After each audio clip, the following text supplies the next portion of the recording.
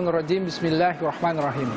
Alhamdulillah la haula wala quwata illa billahil azim. Allahumma shalli wa barik salim ala Muhammadin wa sahbihi wasallam.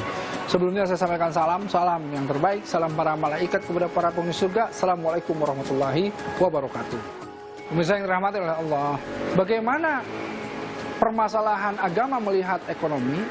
Pertama kalau kita lihat dari sirah nabawiyah, 13 tahun Rasulullah SAW itu menguatkan yang namanya tauhid di Mekah. Ya.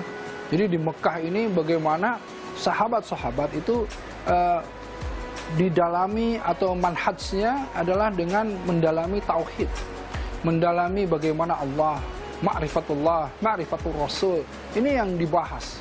Tetapi setelah hijrah, Rasulullah SAW ketika hijrah mendirikan masjid Eh, Nabawi, Masjid Madinah.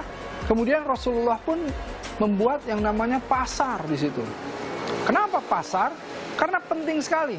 Tidaklah seseorang itu bisa memurnikan atau meluruskan kehidupannya, kehidupan beragamanya, jika seandainya urusan-urusan ritual tidak juga disesuaikan, diakselerasikan dengan urusan-urusan habluminanasnya atau muamalahnya atau kesehariannya.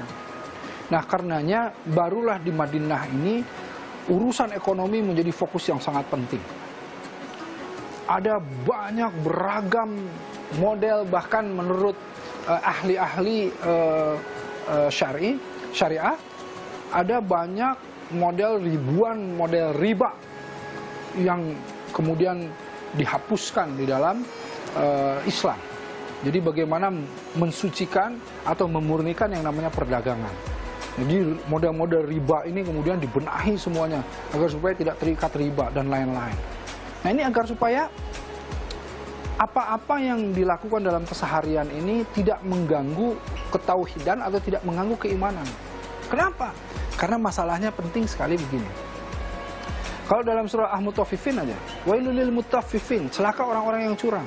Orang-orang yang curang yang disebutkan di sana menakar timbangan. Artinya Ketika timbangan buat dia dia lebih banyak, ketika buat orang dia sedikitkan. Nah ini berlaku kemudian kecurangan-kecurangan. Ketika orang-orang melakukan kecurangan ini, celakalah orang-orang yang curang kata Allah. Ya.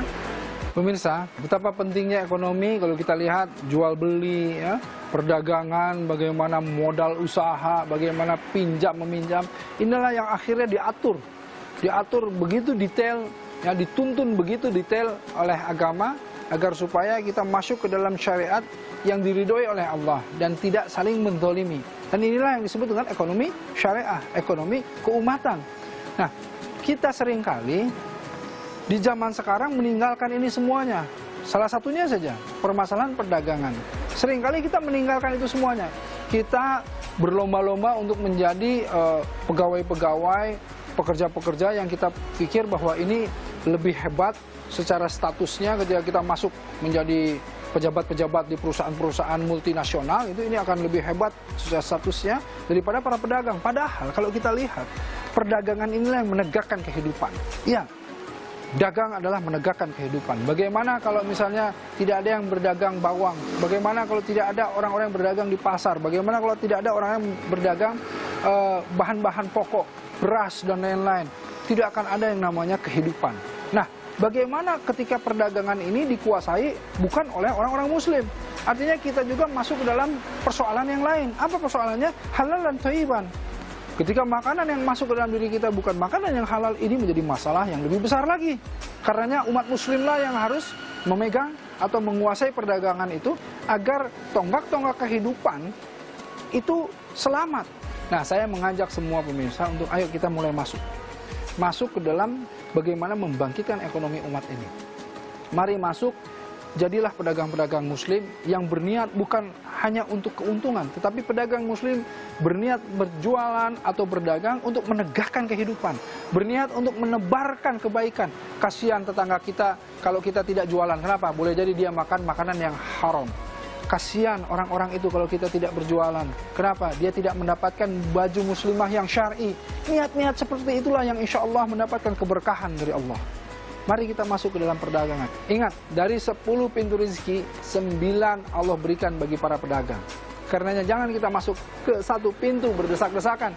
Jadilah para pedagang yang amanah. Insya Allah. Jadilah pelaku-pelaku ekonomi syariat yang amanah. Ya, buatlah bank-bank yang syariat.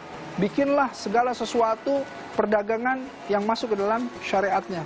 Insya Allah keberkahan bersama kita karena Allah ridho terhadapnya. Masya Allah. Karenanya pemirsa, mari kita berdoa bersama-sama. A'udzubillahi minasyaitonirrajim. Bismillahirrahmanirrahim. Allahumma sholli wa barik salim ala Muhammadin wa sahbihi wasallam. Ya Allah subhana malikul kudusus salamul mu'minul muhaimin azizul jabarul mutakabbir. Ya Allah mudahkanlah kami dalam kehidupan ini ya Allah. Mudahkanlah kami dalam menjalankan seluruh aktivitas ya Allah. Jadikanlah semua ini menjadi amal ibadah kepadamu ya Allah. Berikanlah kami rizki yang halal, berkah dan melimpah ya Allah. Yang halal, yang berkah dan melimpah. Amin ya Allah. Amin ya Rabbal Alamin. Alhamdulillah tidak ada yang lebih baik dari yang berbicara ataupun yang mendengarkan karena yang lebih baik di sisi Allah adalah yang mengamalkannya. Saya Erik Yusuf, bila hitofik wal hidayah. Assalamualaikum warahmatullahi wabarakatuh.